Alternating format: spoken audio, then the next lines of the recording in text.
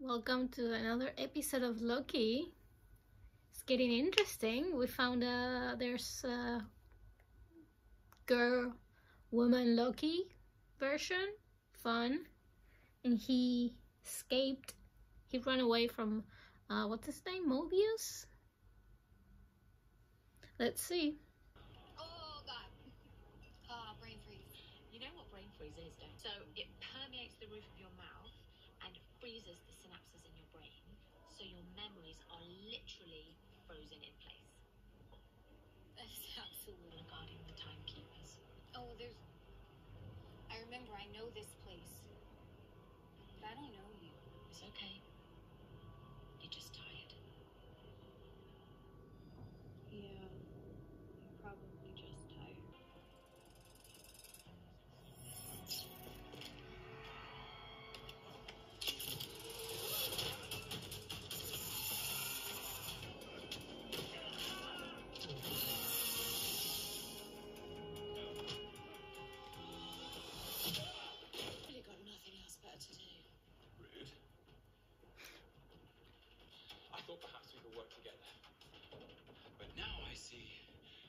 vision.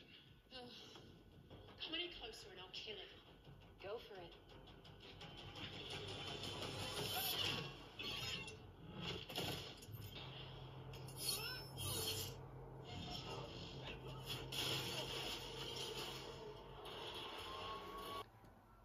Um, when did he go his powers back? I thought he couldn't do magic in that ministry.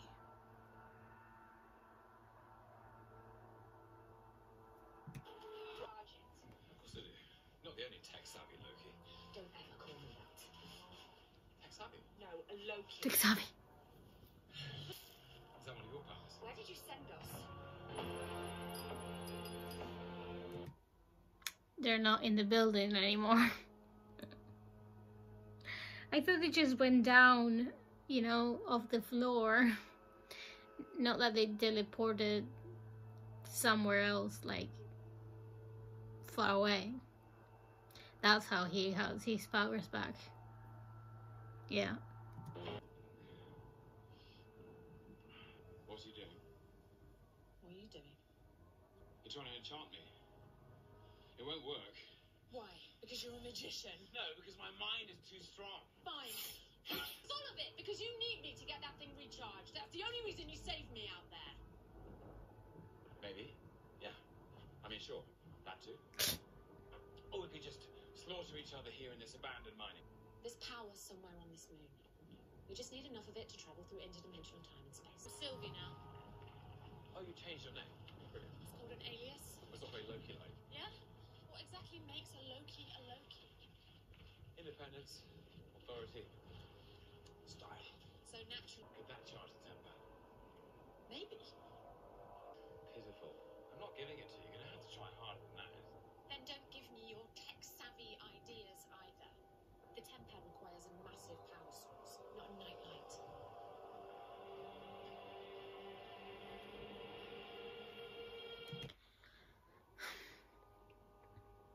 Why do they need to argue like they were five year olds? I understand that they doing this bickering because they're enemies, or maybe they will be lovers at some point because who knows, you know? But do they need to argue like they're like five year olds? Is that really necessary? Like this is not. It's not even funny arguing. You know what I mean? I I think it could could be better.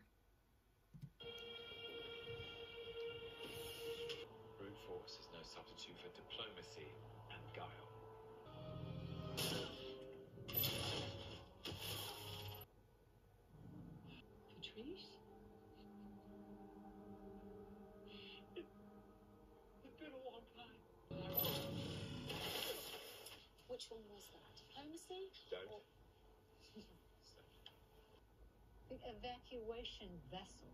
Something like that would have enough juice to repower the Tempad.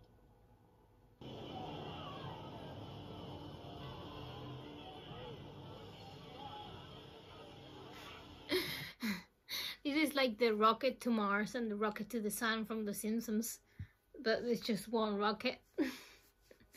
Only famous and rich people can access. Typical.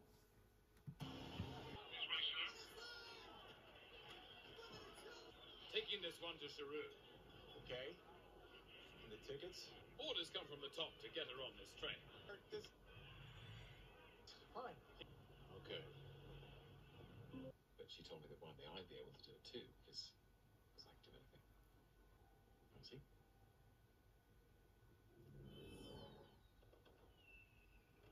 Aww, that's so cute.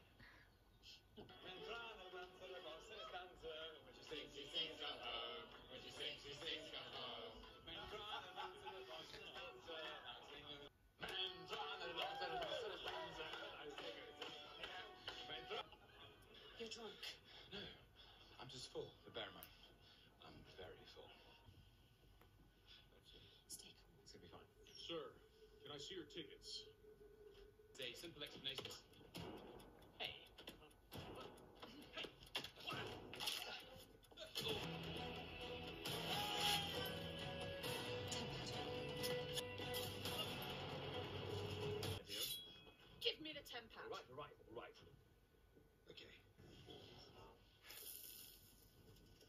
The Ark?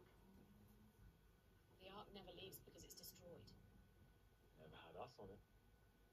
So what? We hijack the ark and make sure it gets off this moon. Okay. You know, I'm sorry, but they will have to. They should walk a little bit faster than that, or they sure not gonna make it. They're like strolling, you know. Can you hurry up a little? I don't. Mm. You want to know how enchantment works? I have to make physical contact and then grab hold of their mind to create a fantasy from their memories. That young soldier from the TVA, her mind was had to pull a memory from hundreds of years prior. Yeah, she was just a regular person. Oh, that's ridiculous. They're all variants, just like us. They don't know that. It's all right. Oh, this is an interesting development. So they like they take them as variants and they brainwash them to forget that. Is that what we're talking about? Because so they're variants, so they are they take them out of the timeline so they cannot be variants anymore and mess up with the timeline and they brainwash them and they put them to work and they say, Oh, you were created by me, the timekeeper. Now you work for me. Maybe?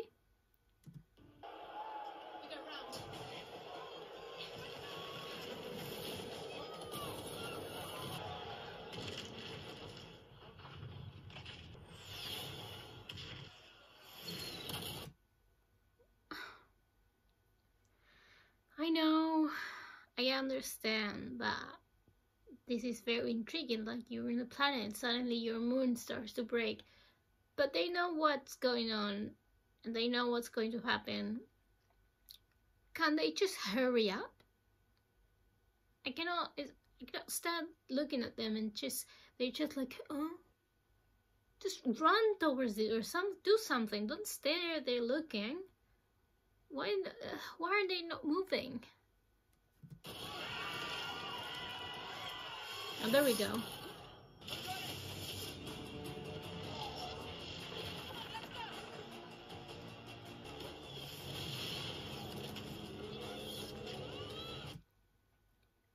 Also, those security guards, bro, you're about to die. Just stop worrying about people, you know? Like, I mean, like, stop worrying about your job. You're about to die. You're not getting on the. I, understand. I, I would understand if they were the guards inside the vessel, right? But they, they are not in the vessel. They're not getting on it. And so, why you keep worrying about your job?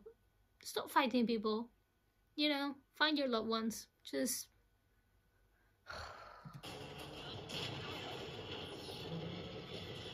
Holy shit.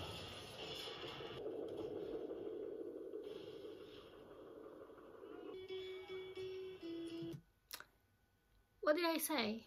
They should walk faster. But no, no one listens to me. Here we are. No vessel anymore.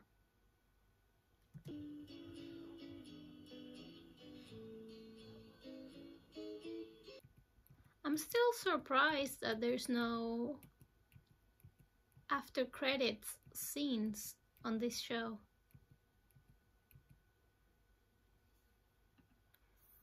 But honestly, now, what now? Well, I guess we'll figure it out next episode because there's going to be more episodes. They're just going to die. I mean, they're going to survive somehow. The question is how, but uh, we'll see next episode. Uh, this episode was such a bust for me. Like, there were there was barely any information. The only th- the only interesting thing is about what what she said about the the timekeeper soldier that she was a human on Earth before she was a variant and then got draft draft into the soldier scheme. Um, but other than that, it was just pointless fights and talking nonsense. Nothing really interesting. Like this this episode could have been half the length in my opinion. Like there were too many fight scenes. For what?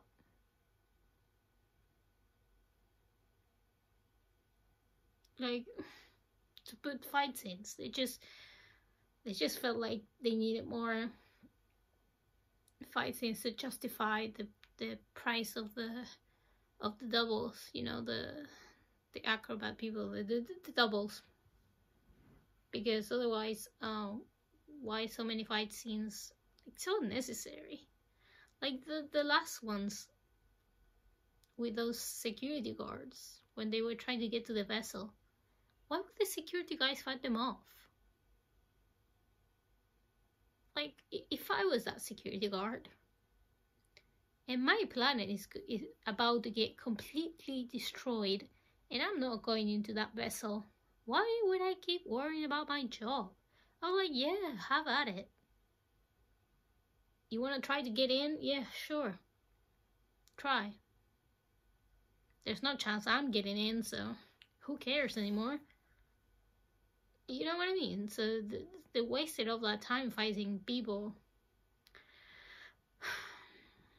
I mean, I guess they, yeah, I understand. They put those fights so they got late to the vessel and the vessel got destroyed. Yeah, but it just doesn't make sense. It doesn't make sense that those security guards were still fighting when they were about to die. Like, what, what for? What for? What are you fighting for?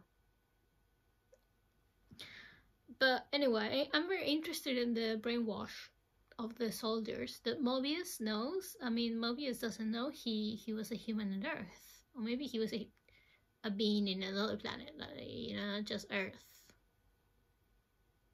You see, that's interesting. Not all the fight scenes. I mean, we've seen them fight already.